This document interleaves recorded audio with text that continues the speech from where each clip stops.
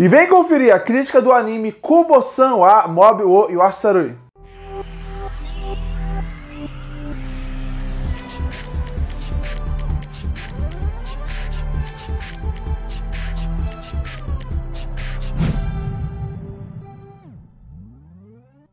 E terminou com 12 episódios o anime Kubo-san wa Mob wo Yasaroi. Anime esse que vem com uma ideia, uma temática muito interessante para o gênero de romance. Um personagem que é considerado invisível por todo mundo que está à sua volta, seja seus colegas de classe, seja seus professores ou até pessoas genéricas que estão andando na rua que ele nunca viu na vida. Não importa a situação, ele sempre é considerado uma pessoa invisível. Ele é uma pessoa que passa despercebida para as pessoas, então ninguém repara ele. Só tem uma pessoa que acaba reparando realmente nessa pessoa, na existência dela, e seria a sua colega de classe, que sempre estuda do seu lado e que seria a pessoa que é apaixonada por ele. E a partir daí, essa é uma ideia super interessante para um anime de romance. Um menino que ele é completamente invisível para a sociedade, um menino que ele é tímido, que ele parece que tem medo de atrapalhar as pessoas e por isso que ele prefere ser invisível do que realmente é, tentar se apresentar, tentar mostrar que ele é alguém além daquilo,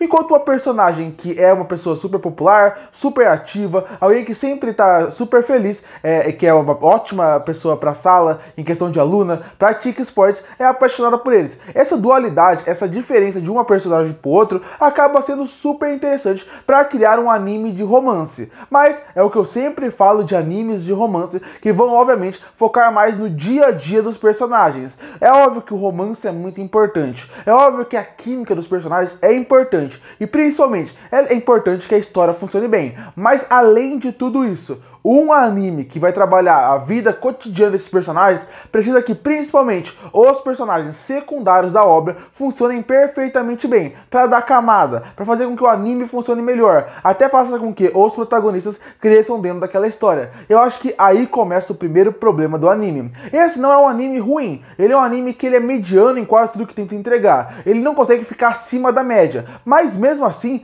ele não consegue entregar muito bem alguns pontos básicos e faria com que ele já fosse muito melhor. E um deles seria os personagens secundários. Para mim, os personagens secundários, sem ser o casal principal, que nem é casal ainda nessa primeira temporada, pode ser que virem nas próximas, eles são personagens sem carisma, sem, é, sem camada. São personagens um ou outro que ainda funcionam até certo ponto. Os irmãos dos personagens, que são mais jovens, até funcionam num certo momento do anime como personagem secundário, mas de resto, nenhum deles é bem desenvolvido, alguns são pouco apresentados. Parece que os colegas de classe deles não têm vida, eles não existem. Eles têm algumas falas, têm alguns diálogos, mas eles nunca realmente são explorados, são interessantes. Os personagens, tirando os irmãos mais novos dos protagonistas, o resto eles não são bem desenvolvidos, eles não são bem trabalhados, eles não têm camada. E isso seria fundamental no anime que trabalha de cotidiano, que a gente precisa conhecer mais os personagens principais, ter personagens secundários, secundários com vida, com camada, que a gente saiba o que eles sentem, o que eles pensam, o que eles querem. A partir daí, teria outro elemento. Isso o anime já se perde. E são 12 episódios. Você não vai ficar focado em dois personagens quase o anime inteiro por 12 episódios. E é isso que eles fazem. E é isso que eles acabam seguindo. E o anime, até certo ponto, acaba até ficando cansativo para eles escolherem fazer essa abordagem da obra. Então esse é o primeiro problema. Personagens secundários que não são ruins,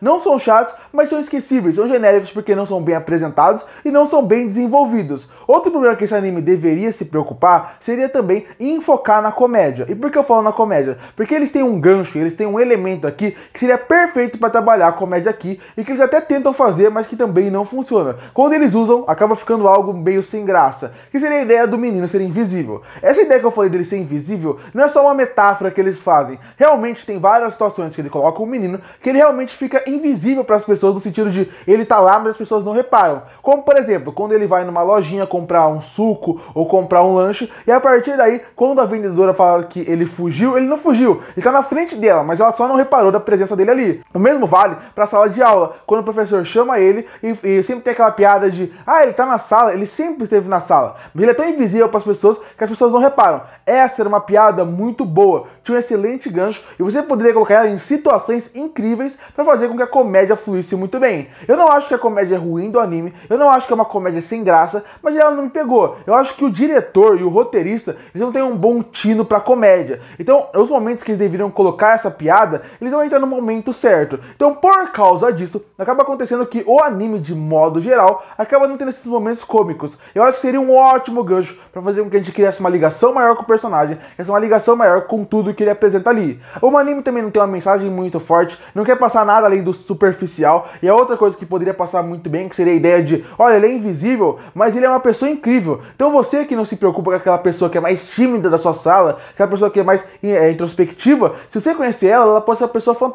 Poderia ter uma mensagem forte desse lado. O anime não quer isso, ele vai no mais superficial possível, e a sorte deles é que os dois personagens principais são interessantes, têm uma boa química e têm boas situações. E a animação para esse tipo de obra também funciona bem. Ela flui bem, ela funciona bem e ela não é incrível, ela não é super detalhada, mas o anime também não pede isso. É uma animação mediana, para ser bem sincera, com alguns momentos até bons, mas para um anime que não pede muito nesse ponto de animação, ele acaba funcionando bem. No fim, o anime ele não é um anime fantástico, ele é um anime de mediano para baixo, mas ele até funciona para passar o tempo. Mas ele tinha um potencial para ser muito melhor do que ele foi. O que eu fico pensando quando eu vejo essa obra é que animes, é, dependendo da época, tem estilos de obra que acabam fazendo mais sucesso e com isso acabam gerando outros tipos de obra. Existiu um momento onde o que fazia sucesso eram animes curtos. E o que são esses animes curtos? Eram aqueles animes de 10 a 12 minutos, onde a animação é boa para mediana e ele passa uma aventura simples. Só que isso praticamente não existe mais. Antes, antigamente, há uns 8 anos atrás, você tinha 10 animes na temporada que era esse estilo. E eu ainda acho que tem algumas obras que elas funcionariam melhor se fossem nessa ideia. Episódios semanais, onde vão ter 10 minutos, onde vão só ser aquela aventura divertida.